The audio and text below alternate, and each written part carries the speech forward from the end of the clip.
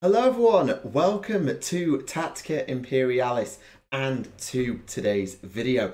Today marks the dawn of a new era and I'm not talking about the Dawnbringer Crusades. This is going to be the first of our hobby stream video series. This is something I talked about in my channel update uh, around about a month ago that I wanted to do and I finally got around to starting it. We did a poll, uh, which some of you voted in, and we settled on painting Ghazghkull Thraka.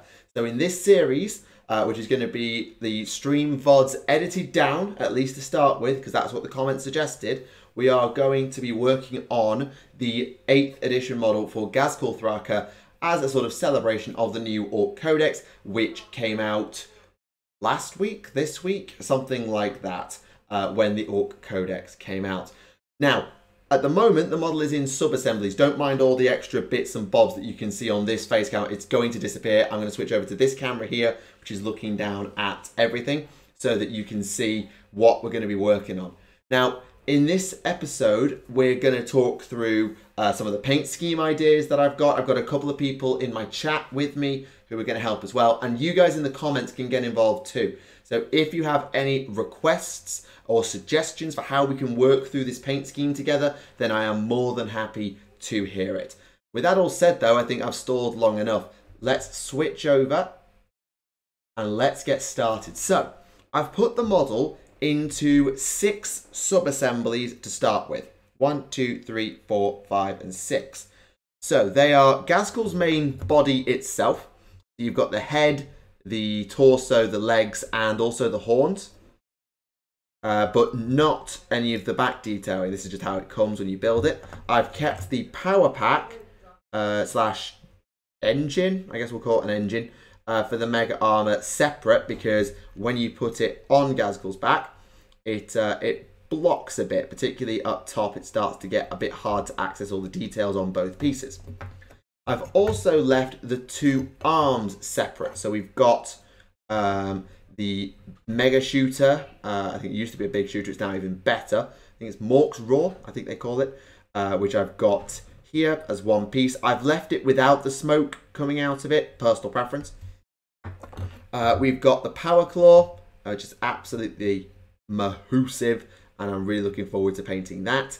I've also left the Iron Gob off because if you put it on and it does stay even without glue, it makes painting Ghazghkull's face and all the detailing just that bit more awkward and I didn't want to make my life more awkward so I've decided not to do that. So I've left that piece off. And finally we have the base. Now I've decided, because I think it looks better, to have Ghazghkull in the assault pose rather than in the shooting pose where he's shooting off uh, to left hand side. I've decided I want him in the assault pose where he is leaning forwards and the shooter is off to one side. It's all just where you put his feet. Uh, the rest of it makes absolutely no difference, but that won't come up for a while. I'm just letting you know in advance I've made that decision. That's my decision and that's final. So the first thing of importance is Ghazghkull is going to be painted in Evil Sunz colours. That's non-negotiable because my army has always been Evil Sunz since day dot. Uh, all the way back in before even the 2010s, it has always been Evil Sunz. Uh, so this will be red, armored, green skin. That is happening. That is non-negotiable, and I'm sorry. However, the exact composition of the red that we're going to use, I'm sort of open to interpretation because my orcs normally start pretty dark. Uh, my typical base paint is Khorne red. I'm just going to show that to my chat as well. Is Khorne red, which is one of the darkest reds that GW use as a base paint. Uh, because most of my armies, by hook or by crook, end up having quite dark paint schemes. Whether that's my Idoneth Deepkin and Lumineth Realm Lords with their deep blue armor, my Demons of Slaanesh have a really deep purple, uh, and my Orcs often start from a base coat of Caliban green, uh, for their flesh, which is another really dark base paint. I don't know why that is, it just is the general way I do things. But for this, given it's, well, Ghazghkull, I kind of feel like I might want to go a bit brighter. So my initial thought and where I'm tempted to start is with Mephiston Red. I'm not doing the armor today. Uh, the plan is I'll do the armor in the next sort of streaming session once the, you guys in the comments and in my chat have had a chance to have a say. Uh, but initial thought is it will be Mephiston Red as a base, but I also have Wazdaka Red, I have Evil Sunz Scarlet, I have Wild Rider Red, which is going to be probably my top highlight. I have a lot of reds and a bunch of oranges as well that we can use to do Ghazghkull's armor in different shades of red. I am open to suggestions, please let me know down in the comments. I will be starting Ghazghkull's skin today, and I am going to start that from Caliban Green because as much as Ghazghkull is a different breed of orc to most of the others, and he is now a super orc, I feel like I want to still tie it in with the rest of my orc army, and for that, I need that dark layer to begin with. That's not to say I'm going to follow that all the way up. I would normally go then up to uh, what used to be called Knarloc Green. I think it's called Elysian Green now. But I've bought very recently two more recent paints, Vulcan Green and Warboss Green. So I am absolutely willing to add a few more layers to Ghazghkull skin or even go in a different tonal direction to the rest of my orcs, just starting from that same base coat and then building up the layers, just to give a little bit of tie together, you know, just bind a few of the ideas I've got for all my orc army together. And my chat tells me to paint the armor pink. No, I am not painting it pink. I have got pinks that I use on my demons, but I'm not painting it pink. Sorry, overruled chat. Now, I am about to commit the greatest heresy in all of painting. Duncan Rhodes, if he ever decides to watch this, is going to not be very thrilled with me. For two reasons. One, I don't thin my paints. Um, I don't thin my paint. I have never bothered thinning my paints because, well, it's just kind of unnecessary to my mind, especially with base paints. Like, it's just adding an extra step to the process. I never have, and I probably never will, unless I decide to really put more time than I have into this. Second, I don't undercoat. I know, I know there are purist hobbyists going down and going, oh, Tactica, you need to start again, you didn't put an undercoat on. But bear with me here. Again, the base paints are so good that there is no need. Like, if the base paints were really thin and runny, then yeah, I'd probably undercoat. And there are certain tones, like pale elven flesh, like I've done on my daughters, my uh, Idoneth, my Lumineth, etc., where I do undercoat in white.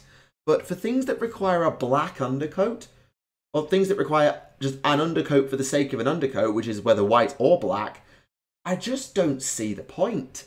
Like, the paint's thick enough, it will stick. And so, I don't undercoat. If you've already clicked off, I'm sorry, but I don't. You might be able to see already we've hit a small snag. I apologise for some of the camera quality. I need to manually focus whenever I do something.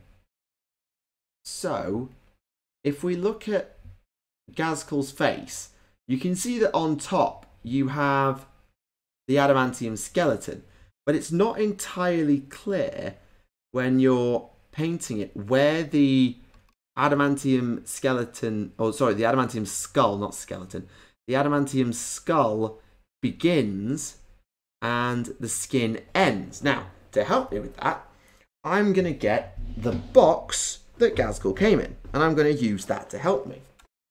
So, I'm just having a look at the box, and I can see from looking at it very quickly that from the eye line upwards is going to be metallic, and I'm going to follow that to the letter.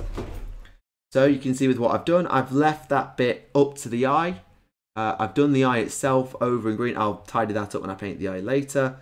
And I will go across to here where there's a little ridge. And then from there, that will be silver. That will be the adamantium skeleton. Skull. Sorry, I've, I've played a bit too much Fallout. Adamantium skeleton is ingrained in my brain. Given this looks like flesh, and you can't really get a good look at the Ghazghkull model from behind uh, on the box, very much in shadow. I'm going to paint it green and sort of say the arm is a little bit more ragtag. Uh, because when the arm goes on, for example, there's the shooter arm. When the shooter arm goes on, it looks to me like that's flesh and then plating and then back into flesh again. So I'm going to paint that as flesh. Um, just say that Ghazghkull didn't bother putting clothes over that bit. Honestly, now that I've just done that, I think I might have put the green on the wrong bit. Because uh, again, let's put the gun on. Again, that bit being green makes less sense given you've got this bit off to one side. That bit being flesh and then just transitioning into lower layered armor. I think I've done that wrong. Uh, so Note for future Tactica in the next stream, tidy that up uh, with your cloth colour, whatever we decide that to be. We'll do that. And that's the main body done. Now we go on to the arms. And again, given, again, Ghazghkull's an orc, and even the orcs in Mega Armor, there's a surprisingly small amount of green. I know Mega Armor does cover a lot of it, and there's arguably more exposed flesh here than on the Mega Nobs uh, or it's a very similar amount of exposed flesh to Mega Nobs. But it really feels like you should be painting more green since, you know, it, it's the boss of the orcs. I don't know, maybe I'm just waffling because I I have a really nice technique for painting green and I don't get to do it enough on this model. So maybe I'm just being a bit sad. Again, you can see, because I've left this shoulder pad on, getting at some of the detail is proving a little irksome. It's nothing I can't handle. But this is the one problem. So, well, there's a few problems with modern GW miniatures. But because they're so detailed, especially nowadays, if you're trying to really make sure you hit all the details, it's very easy to miss them. Now, this is a problem they've had for years. I look at my old battle wagon and I look at it and I think, oh my god, how did I miss all those details? So it's not a, a modern phenomena of models being hard to paint because they're finicky. It's just something I've really realised is that GW really wants you to paint, build, uh, is, is assemble, paint, and play.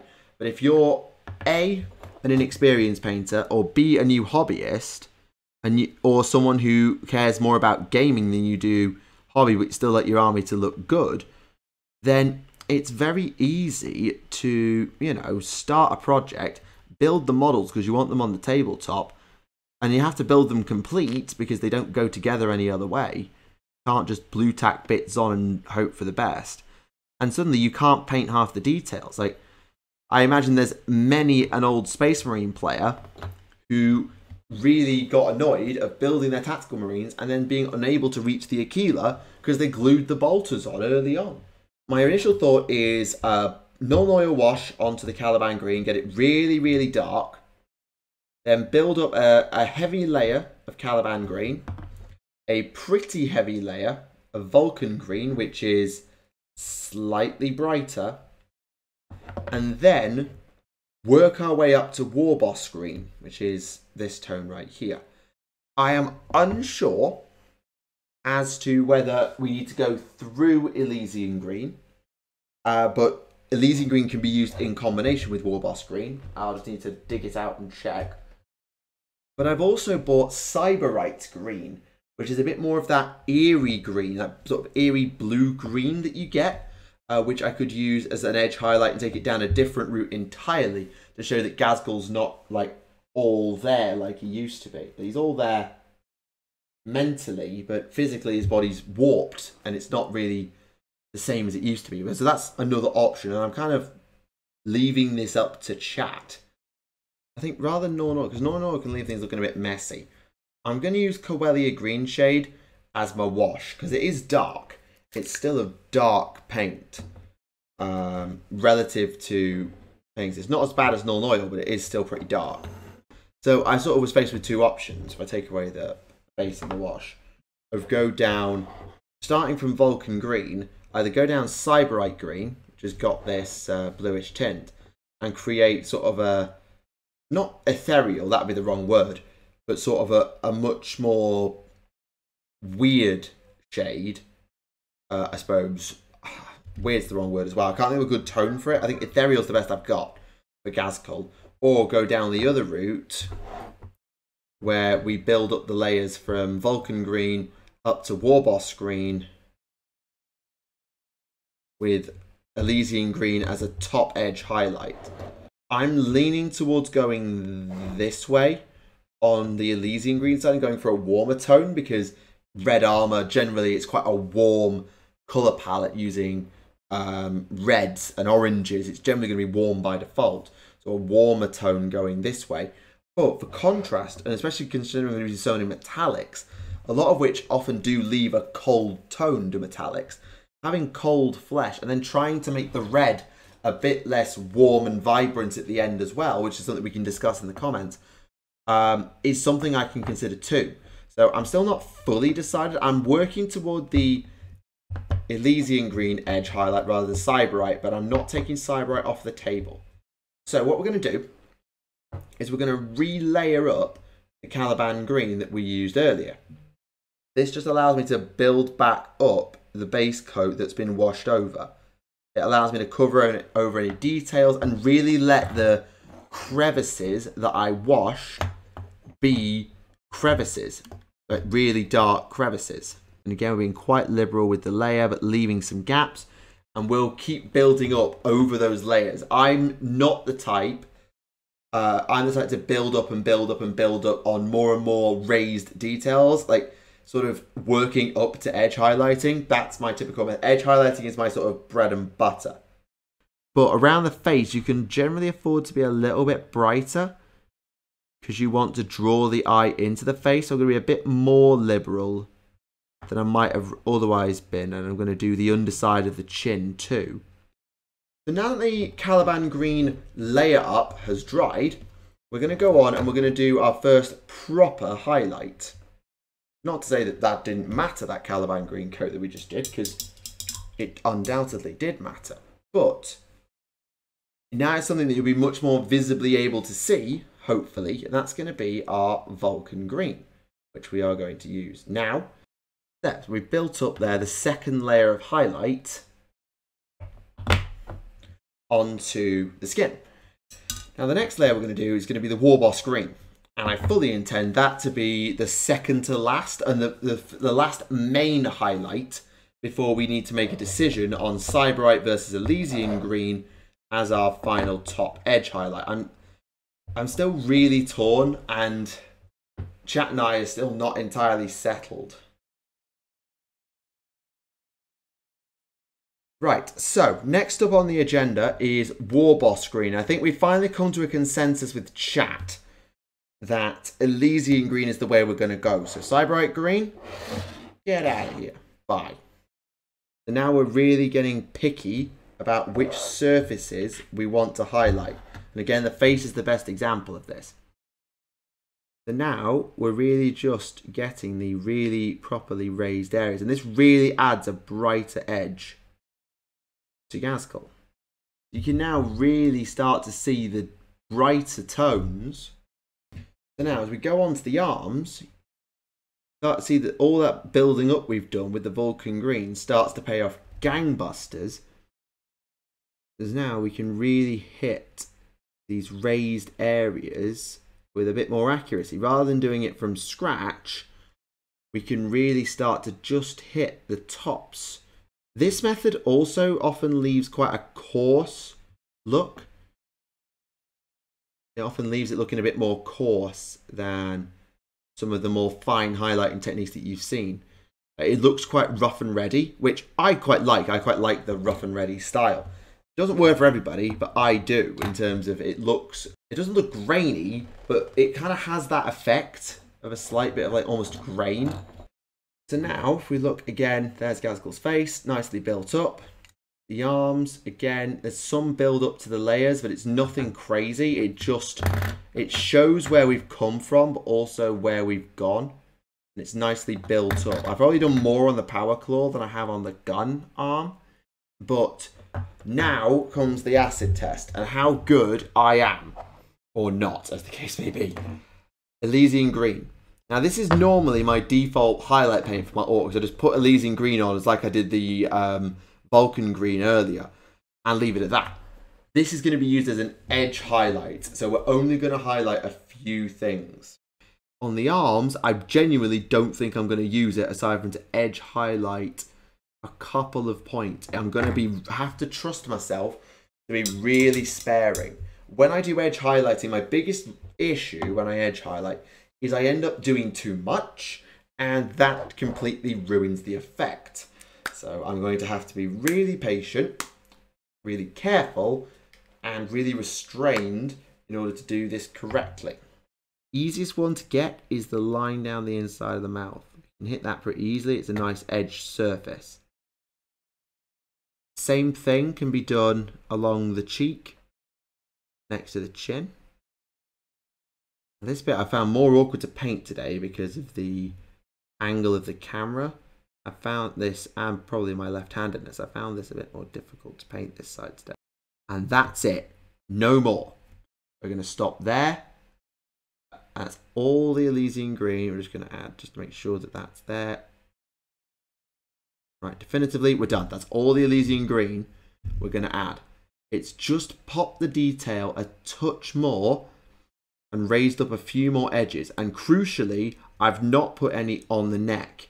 And I'm not going to, because again, I want to draw the eye into Ghazghkull's face.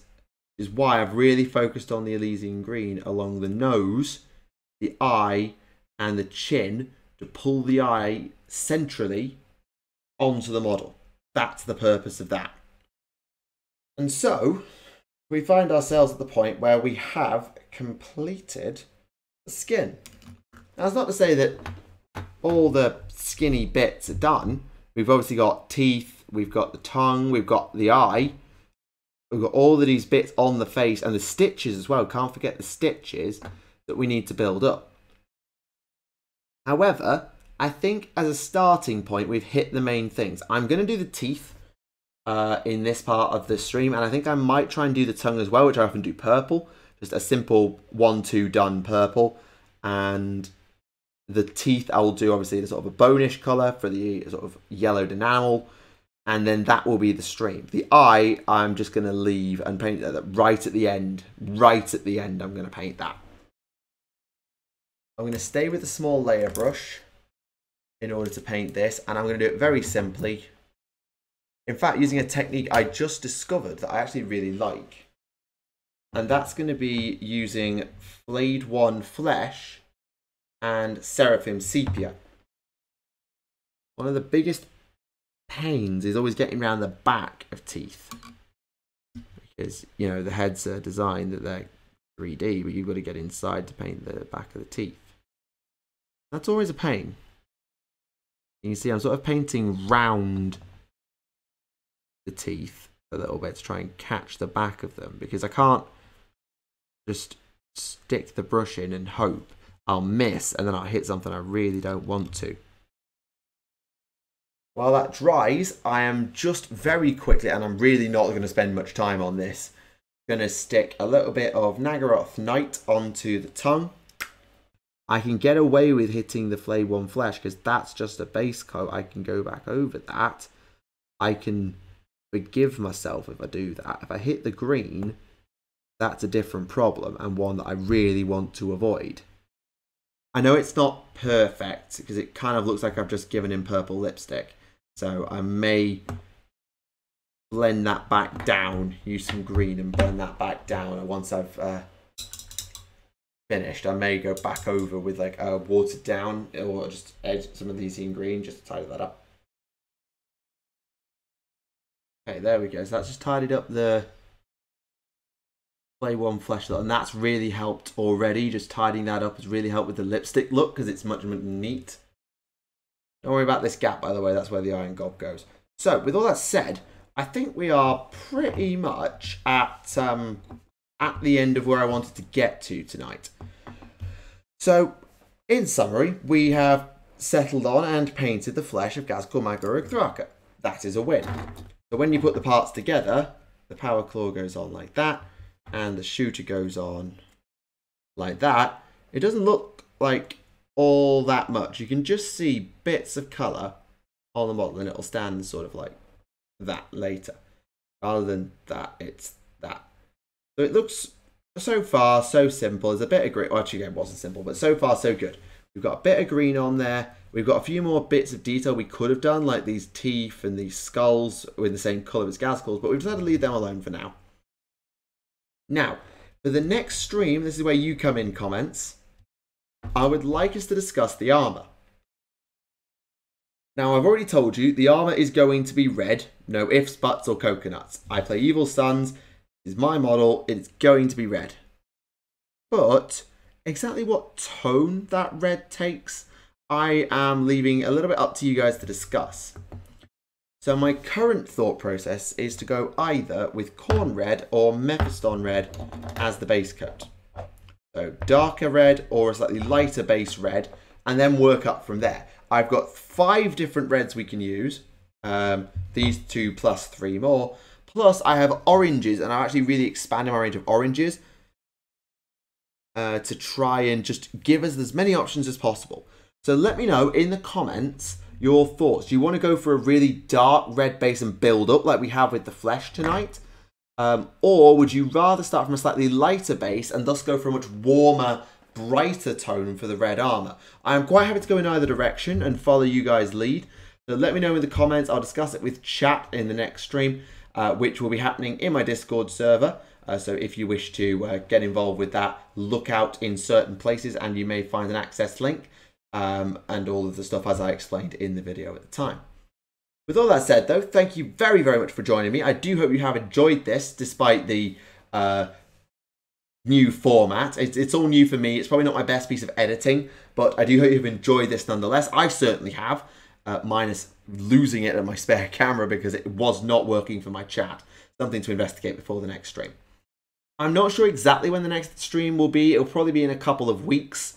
Um, so I'll do podcast this one week, stream the other. Um, so probably about two weeks' time, we can expect the next video. Plenty of time for us to have that discussion about the armor, go back and forth. I will be checking the comments and giving them a read as well.